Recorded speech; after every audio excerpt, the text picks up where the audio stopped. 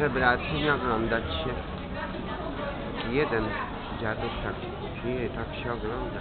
Proszę Państwa, no ludzie tutaj czasem zjeżdżają do Warszawy, dlatego że tu jest aż 3 miliony tego wszystkiego i poszczególne jednostki nie znają się ze sobą, bo tu nawet nie jest Angloameryka Białystok, tu nie jest cerkiew, tu nie ma prawosławnych, tu nie ma mormonów, nie ma ewangelików.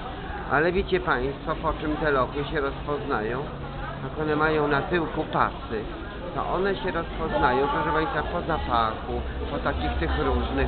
Na przykład słuchaczka Radio Tok FM pyta się, proszę Państwa, Sumińskiej, a proszę Pani, a proszę Pani, a skąd psy wiedzą, że to ojciec, a to matka?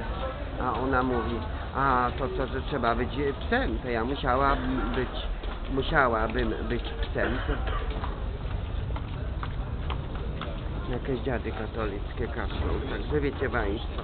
I ta Sumińska mówi, no ten w pomarańczowej, co Polak. Pomarańczowej, tak. Także proszę Państwa, doktor Sumińska, ja musiałabym być psem, powiedziała. No, skąd one wiedzą, proszę Państwa? No. Także te lochy, one się dobrze orientują, proszę Państwa, kto ojciec, kto matka. Ale tak one się oglądają, wiecie Państwo, jak to się mówi, że jak Żydzi za Jezusem Chrystusem, żeby dał im żyć. Czekali, czekali 4000 lat, czekali, czekali, się doczekali, jak to ta wasza przecież katolicka kolenda mówi, w waszym tym systemie żrąco, strąca, tłoczących. No i po prostu, gdy przyszedł, no to dało im żyć, rzeczywiście, w tym systemie żrąco, strąca, tłoczącym.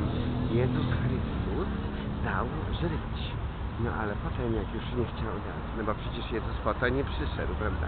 To oni go chcieli urobić, chcieli z niego jakiegoś zrobić sługę takiego, który by, wiecie Państwo, dawał im wciąż żyć. A Jezus Chrystus zrobił ich w konia i naprawdę powiedział, że jest sługą, ale jest sługą Jehowy. I powiedział Jezus Chrystus, że sługa nie jest większy nad Pana swego. Jeżeli im nie prześladowali, to i was prześladować będą. Jeżeli słowo moje zachowają, to i wasze zachowają, bo nie jest sługa większy od Pana swego. Także proszę Państwa, proszę więcej Ewangelii. Proszę, tam wszystko można wyczytać.